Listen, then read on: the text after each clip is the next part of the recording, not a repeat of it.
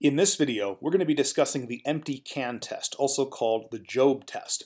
This is a special test that's used in the assessment of subacromial impingement syndrome, specifically for impingement of the supraspinatus tendon within the subacromial space. Now, as we'll see in just a minute, the name empty can test comes from the fact that the test position involves the hands in the same position you would use to dump out a can of pop. So if your soda's flat, don't want to drink it, and you turn it upside down to dump it into the sink, it's going to be that same hand position. So to perform the empty can test, the patient's going to be positioned either in seated or standing. I'll be demonstrating this with the patient in the seated position.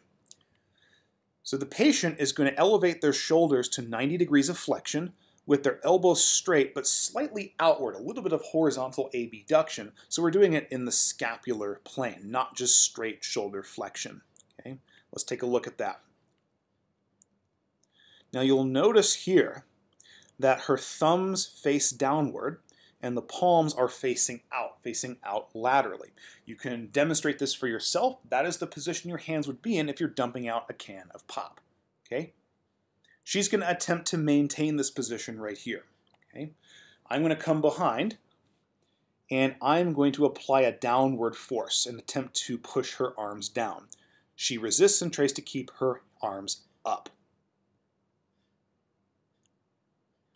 And a positive empty can test is going to be indicated by unilateral weakness compared to the unaffected side, or reproduction of familiar shoulder pain. In other words, if I was unable to push her left arm down, but I was easily able to push her right arm down, that would constitute a positive empty can test on the right side, or if it reproduced right shoulder pain or left shoulder pain.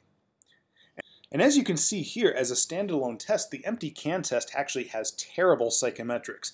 The sensitivity is 74%, so you really shouldn't use this test to rule out subacromial impingement syndrome. There are other related special tests that have much higher sensitivity values. And the specificity is deplorable, only 30%. You would never in your right mind ever use this test to rule up subacromial impingement syndrome. But you should be aware of this test because it is covered on the NPTE. Thank you for all your support. Be sure to check out my Instagram for cool science and not science stuff.